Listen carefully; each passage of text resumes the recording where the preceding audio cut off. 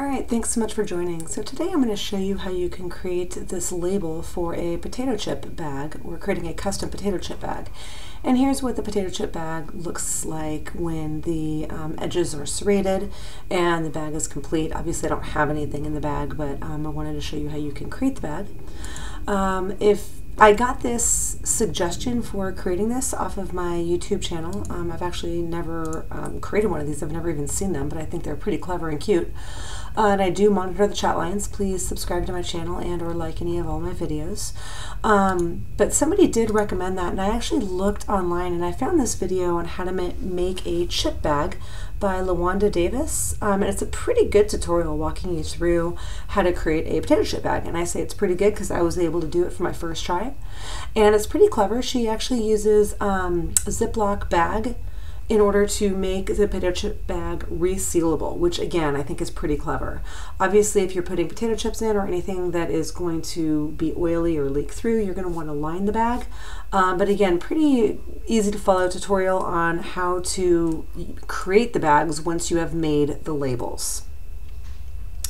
All right, so um, one more point is going back to my um, YouTube channel.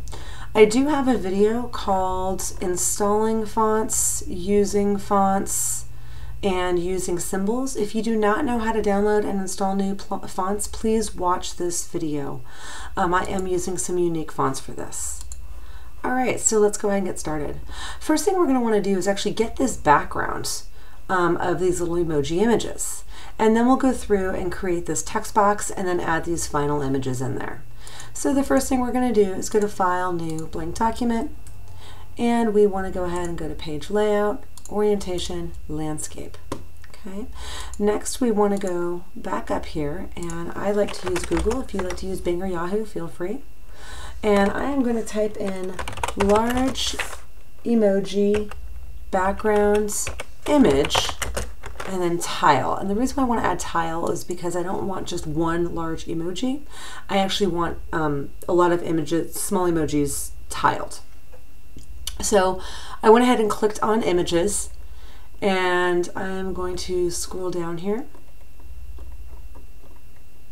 until this is not exactly what I want, um, but I can go ahead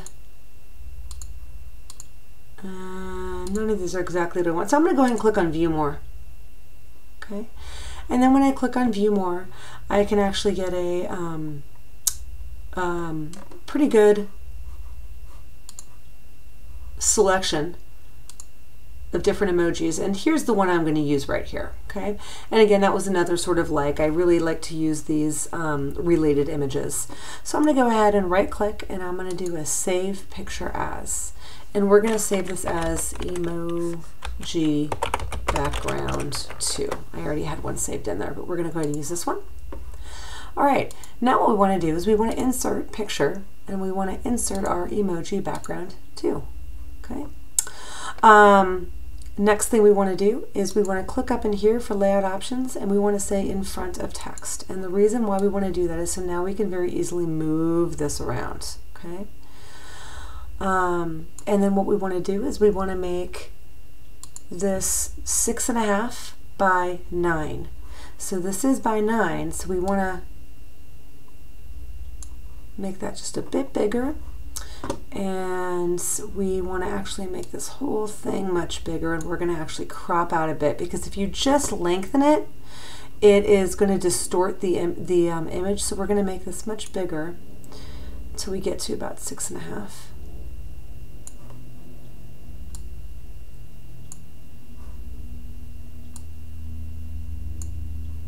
Okay. Let's actually make that just, let's do 6.5. Okay. And um, then what we want to do is the width we want to be um, 9, so we can go ahead and crop this, and we can go ahead and crop this. And again, do you see that little T, that little black T? I'm just moving that on over. And I'm probably going to have to get rid of at least one set of these emojis and crop those out. So we want to be at 9, and so we want to maybe crop those out. And there we are. We're at 6.5 by 9. So this is um, pretty perfect for what we want. Um, actually, let's go ahead and crop this because there's a lot of white around there. And we want to make this just a touch bigger. Let's do six and a half. Okay. And we want to do a crop. And let's just get rid of one of those. And we're going to crop this out again. I apologize, I'm using a different emoji image, so I um, wasn't sure how much I needed to crop here. All right, so if I click on format now, we're at 8.7, and we're right around 9. All right, so that is right about perfect. Okay, so now that we have our image, and we have our image um, sort of aligned up here, we want to click on corrections and we want to make this just a touch lighter. There we go. There we go. We like the brightness 20 and the contrast negative 20. And again, that's just kind of lightening it up a little bit. All right, now let's go ahead and insert and create our text box. So we're going to go ahead and insert a shape and we're going to insert a rectangle. We're going to click anywhere we want on here. It doesn't matter what the size is, because we're going to go ahead and click on format. And we want to make this 4.7 by 3.7. Okay. And then what we want to do from here is we want to center that and we want to go ahead and do a shape fill of white and a shape outline of black. And then with the shape outline, if this um, format shape isn't shown for the shape outline, you want to click on weight and you want to click on more lines because what we want to do is we want to change the width to a 10 point width. Okay. Now what we want to do is we want to go ahead and right click and we can do copy and then we can right click and we can go ahead and do a paste. And we want to move this right over that. And we want to click on format and do a shape fill of no fill for this second box. And we want to change this to a 5.5 width. And we want to change the color to pink. Okay, and again, you can really, whoopsies, yeah. And again, you could change it to really any color you want. Um, I like this pink, and I had this pink in my saved colors. How I got that pink was I went ahead and clicked on the more colors, and it was this color right here. But you can also do custom colors, and you can get very granular in what you want, but I like that color.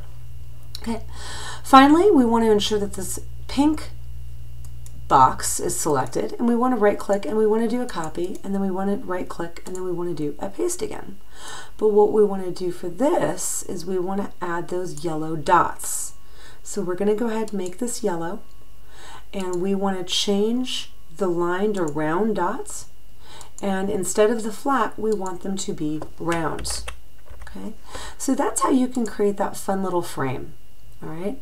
Next, what we want to do is we want to insert a text box and we want to draw a text box. And let's just go ahead and draw it right here. And we want to do a shape fill of this text box of no fill and a shape outline of no outline.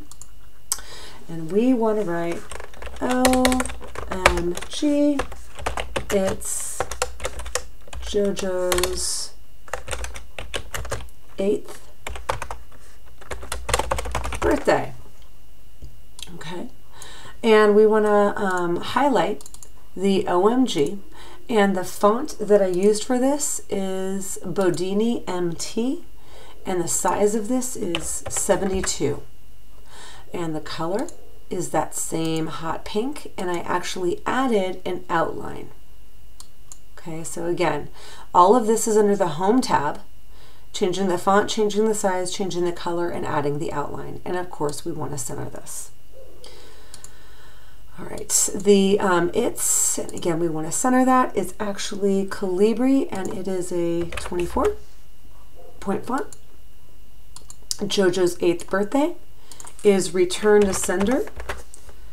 And the font for this is 60.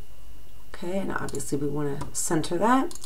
And birthday, the font I used was Curlz MT and I made that a 48 point font and I centered that. Okay. Next thing we want to do is because we want to get that emoji in there, we would kind of want to move everything down. Um, actually, let's change the colors first and I'll show you how to do that. So the JoJo's um, is actually a purple color. And then the birthday is this blue color. Okay. So now the line spacing, what you want to do is you want to highlight all of these. Again, home tab is selected and you want to go over to paragraph line and paragraph spacing options. And you just want to change this to zero and single. Okay, and that's going to move everything a little closer together. And um, what you want to do is um, add a space or a paragraph, if you will, in between there, but that's really big. So what you want to do is, because this is a 72 point font, you just want to move this down to like, I don't know, maybe 48, and then that'll kind of move, yeah, maybe not quite 48, 36, then we could do that. Um, and that'll kind of move it down a little bit. All right.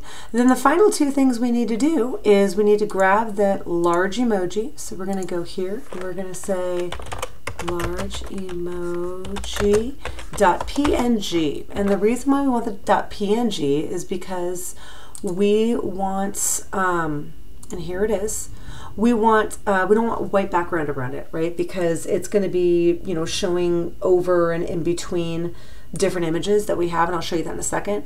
But if you see this gray and white that means that there's no white border around this like this one has white border around this this is going to have nothing. It's going to be transparent. So all you're going to do is get the image. So we're going to right click and we're going to do save picture as emoji.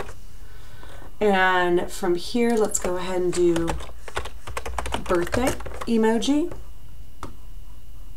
And we're on images and let's see. I don't think there was a good PNG, so we're just going to do birthday emoji. Here it is. And here's our image. And oh, it is a .png. Great. So we're going to go ahead and do save picture as, and we're going to do birthday. Um, it is a PNG, which is great. All right, so let's go ahead and go back here. And finally, we want to insert picture. And let's insert this picture. And again, we can't see it, so we need to go ahead and click up here and do in front of text for changing the layout options. And as you can see, again, we don't have that white background. That's what I was talking about. All we have is the um, image. Okay, so we're going to go ahead and go over here. We're to turn this to the side. And then what we want to do is this text box, we want to right click and we want to say bring to front. Okay. Finally, we just need to enter and insert our last picture, which is our birthday. And again, we want to right click on here or we want to click on that little layout options and say in front of text. And we want to move this down and we want to move this this way. And we could make this just a touch smaller. And once again, we want to click and we want to say bring to front. All right, so that's how you can create this um, really cute potato chip bag label. Again, if you need to know how to actually make the bags themselves, um, I found this video on YouTube on how to make um, the actual potato chip bags, which again, I've never um, seen before, but they're really, really cute, and I'll probably use them for uh, my next event. Again, please like any and all of my videos, subscribe to my channel, and I do monitor the chat line, so please, if you have any questions, feel free to ask. Thanks so much.